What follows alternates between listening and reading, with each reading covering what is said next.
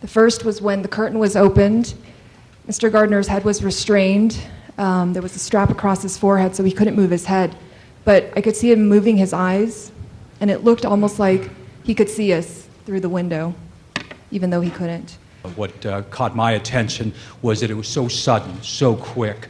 Uh, boom, boom, just like that. It was over pretty quickly. It was cleaner than I expected, and it was fast.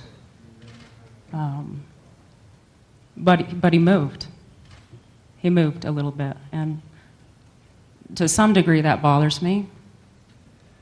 Um, to some degree that mirrors the last few weeks of his life because he was fighting to stay alive the last few weeks of his life legally, and that seemed to carry on the last uh, 60 to 120 seconds. When he was shot, some of us, I think, weren't sure if he had passed away because we could see movement. He had his fist clenched, and we can see his elbow move up and down, and uh, his thumb and forefingers moving, uh, rubbing against each other. Before we went in the uh, execution room, they, they warned us that if the first round of shots doesn't fire, him, we'll have to fire again. And I don't know about the others, but I think for a brief second we were starting to wonder if that was going to happen because he kept moving. And those were the, that's what stood out most to me.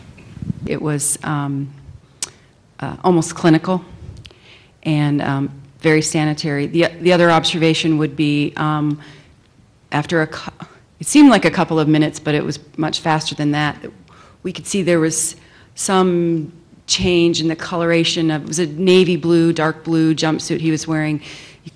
It was like blood may have been pooling around his waist, but you could tell that something was changing around his waist. And